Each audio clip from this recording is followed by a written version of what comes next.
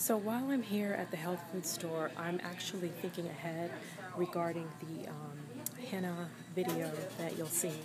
And I'm considering, um, once I'm done with the vitamin C rinse, to pull out the color that I have now and putting in a henna coloring because uh, it's all natural. And um, they have hennas here, um, different varieties, as you can see.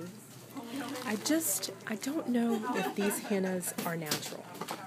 So they have one from Surya, Brazil. It's a henna cream, hair coloring, and hair treatment with vegetable extracts. This is it here.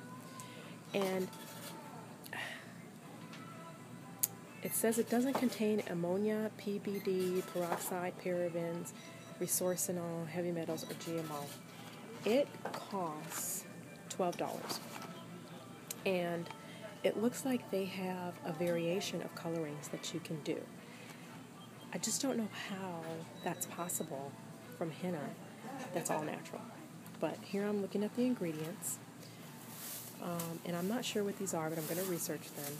Dipropylene glycol, methyl ether um, are is the two, the second and third ingredient. The first ingredient is water.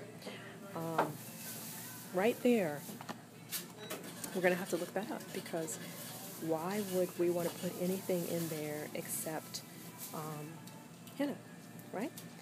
And from my understanding, it looks like there's benzyl alcohol in here also. And then there's yeah, dye. There's dye in this, okay? Yellow 4, red 1, HC red 3. Hello, no thank you. So, just so you know, stick with 100% natural henna from the plant. And they do have that here. Doesn't have anything in it and it comes in a very um, unattractive Ziploc bag. But really, do we care about all these packages? Do we really care about that?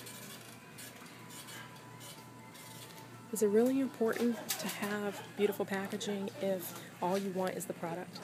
So um, get this type of henna if you're going to use henna to dye your hair. Don't use that crap because it's just not helpful. They, they want $38 for this though. I'm really not going to buy it from them for that. I'm going to do some research online because I do believe we can find some distributors and other suppliers who have it for a lot less. They want $38 for a kilo, which is um, about 34 ounces. So um, you'll see when I start to dye my hair which one I found, where it's from, how much I paid for it, and how much I got. Um, so stay tuned. Thanks.